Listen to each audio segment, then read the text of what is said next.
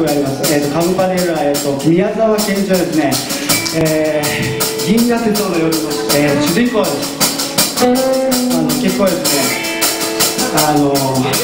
一人ぼっちなんカムパネルラちょっとそうあそういうのをですねあの自分なんかにですね見せてですね考えてあの